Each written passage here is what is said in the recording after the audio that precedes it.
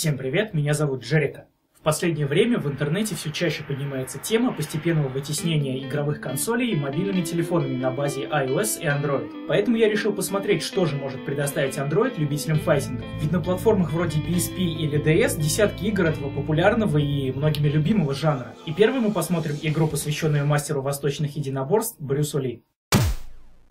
Изначально Брюс Ли Dragon Warrior был выпущен эксклюзивом для Xperia Play, но на данный момент игра запускается на большинстве устройств, использующих Snapdragon. Проект является клоном всем известной серии Tekken и полностью повторяет ее механику, но с рядом упрощений. Игра берет резвый старт и начинает разогревать нас режимом обучения, где китайский старик с бородой, это обязательный персонаж в любом файтинге, обучает нас боевым искусствам. Увороты, блокирование, контратаки и классические связки. И вот мы уже готовы к более серьезным вещам, вроде 10-хитовых комбо и джаглов, но обучение заканчивается. Списав это на недостаточно проработанный обучающий режим, открываем список приемов и обнаружим, что в обучении нам показали все. Комбо практически отсутствуют, специальных приемов всего несколько, в общем, небогатый арсенал для любителей файтингов.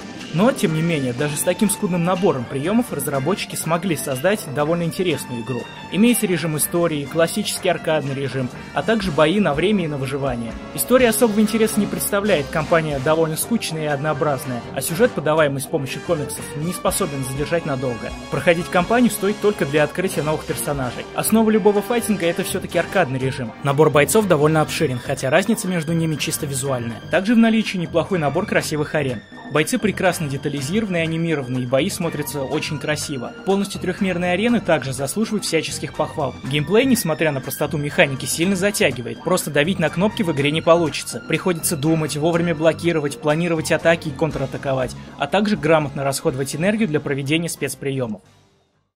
В целом игра получилась довольно неплохой, но из-за ряда досадных упрощений она вряд ли заставит любителя файтингов расстаться со своей PSP. Ощущение можно сравнить с просмотром фильма, не прошедшего стадию постпродакшена. Вроде все и задумано прекрасно, и смотреть, в общем-то, интересно, но актеров, летающих на тросах, не заметить невозможно. Попробовать проект однозначно стоит, особенно владельцам телефона Xperia Play, ведь эта игра изначально предустановлена на телефоне. Далее мы посмотрим игру Fight Game Heroes для Xperia Play. Ближайший аналог Fight Game — это некогда популярная консольная серия Def Jam. Практически все было позаимствовано именно оттуда. Все арены выполнены в урбанистическом ключе. Станции метро и городские подворотни — вот на что нам предстоит любоваться всю игру. Выполнены они достаточно красиво, но быстро приедаются за своей однообразности. Геймплей предельно прост. Набор из парочки комбо для каждого бойца и уникальный захват. Вот, в общем-то, и все. Поймав противника с помощью захвата, можно использовать окружение. Это основная фишка игры. На каждом уровне есть набор предметов, об который можно приложить противника противника. Но набор этот весьма скудный, как в общем и анимации прикладывания. Впечатывайте вы противника в трансформаторную будку или в какой-то шкафчик, выглядеть это будет абсолютно одинаково. Также, в отличие от Брюс Ли, бой происходит в двух плоскостях на манер стритфайтер. Набор бойцов весьма разнообразен, но они опять же отличаются только визуально. Зато детализация не подвела. Степень проработки почти не уступает Брюс Ли, разве что лицевой анимации нету. Хотя кому она особо нужна в файтингах? Целом же играть довольно интересно, но игра выдыхается очень быстро, так как тактика абсолютно отсутствует, режима кампании тоже нет, и похвалить можно разве что неплохой саундтрек. Более того, на данный момент игра доступна только для владельцев Xperia Play, и поэтому ознакомиться с ней немногие. И последним у нас в списке идет порт Street Fighter 4.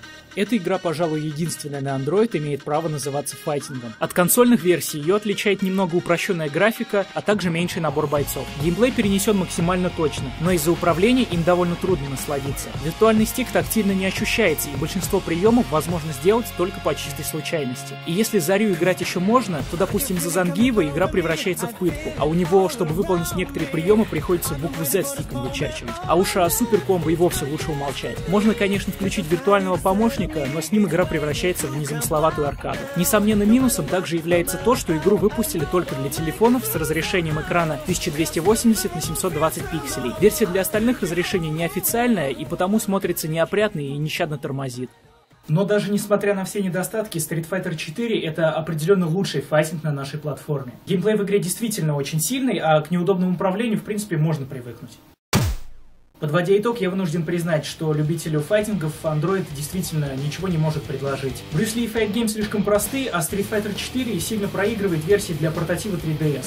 И в графике, и в звуке, и в управлении, в общем во всем. Причин отсутствия хороших файтингов на Android много. Это и слишком разнообразное железо, и нежелание пользователей платить, а теперь еще и маркетинг. На сегодня это все. Подписывайтесь на канал, оставляйте комментарии. С вами был Джерика. Пока.